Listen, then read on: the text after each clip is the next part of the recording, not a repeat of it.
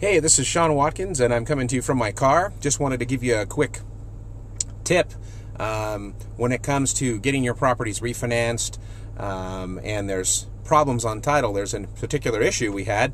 We bought a property from a bank and we fixed it, and now we went to refinance the property, and a notice of noncompliance popped up on the property.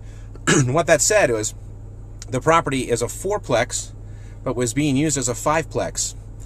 Well, we knew that was being used as a fourplex. We'd fixed it and we'd corrected it, but it was still on the title that it was not in compliance. So, of course, the bank won't lend any money on anything with any weird title issues. So, I met the code enforcement officer. He told me it was going to be cleared off, and we hadn't seen anything yet. So, here's an interesting thing to remember. Here's the notice Certificate of Correction and Compliance, notarized and signed by a city official. However, what they tell you is since it doesn't benefit the city, we will only hand this to the owner. We will not go and take it upon ourselves to have it recorded and cleared. Well, do you think they called the owner and told us? No.